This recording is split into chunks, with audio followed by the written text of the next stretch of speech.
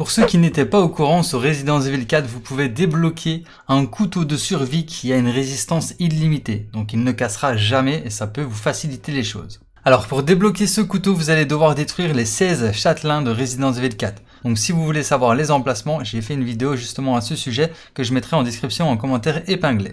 Quand vous aurez détruit tous les châtelains, ce que vous allez devoir faire, c'est d'aller dans bonus, ensuite boutique spéciale, et ici vous allez devoir acheter le couteau de survie. Quand vous aurez acheté le couteau de survie pour 2000 PC, ce que vous allez faire, c'est tout simplement charger une partie en nouvelle partie plus, très important. Quand vous serez près d'une machine à écrire, donc une machine à sauvegarder, vous interagissez avec, ensuite vous allez dans votre coffre, et là vous allez voir que vous avez le couteau de survie. Donc vous vous l'équipez, vous le mettez dans votre mallette, Ensuite, vous allez près d'un marchand et là, vous allez devoir améliorer le couteau de survie au maximum pour débloquer l'amélioration spéciale, donc le rendre, euh, rendre le couteau indestructible. Dès que vous aurez amélioré la totalité de votre couteau, regardez comme ceci, vous allez pouvoir débloquer l'indestructibilité euh, du couteau et vous l'aurez en illimité.